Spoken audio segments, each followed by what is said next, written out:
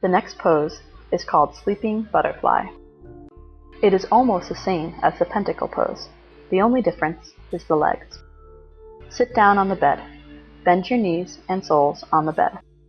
Bring your heels in towards your hips.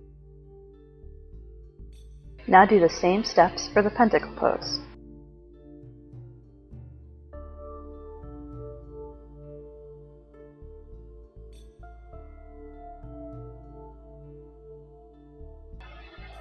If you feel uncomfortable at your knees, place support under both knees.